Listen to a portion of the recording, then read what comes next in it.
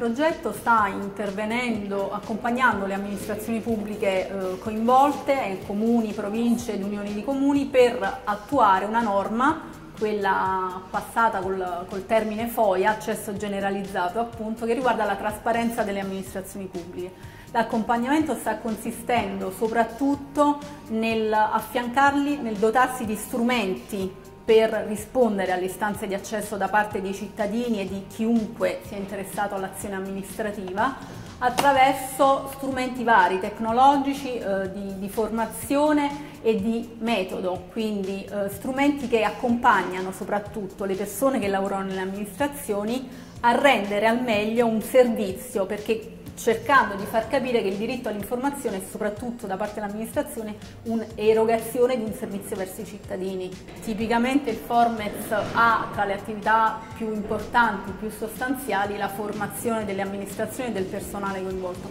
In questo caso eh, la formazione sta essendo eh, erogata alle amministrazioni coinvolgendo soprattutto gli uffici e il personale direttamente coinvolto nella gestione di queste richieste e cercando di tenere insieme le competenze utili ad erogare questo servizio nella maniera più chiara ed efficace possibile.